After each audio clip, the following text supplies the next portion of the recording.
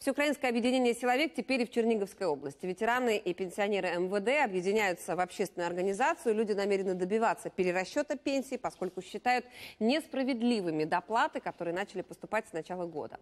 В ходе рабочей поездки с бывшими военными встретился нардеп Сергей Каплин. По его словам, пенсионеры готовы к активным действиям, если власть не услышит их просьб.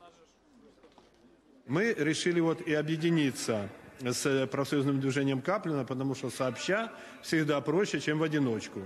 Тем более, я хочу раз подчеркнуть, э, наши требования справедливы. Мы не требуем что-то сверхъестественного и законные. Не мы принимаем законы. Мы, кстати, всегда стояли на страже их защиты.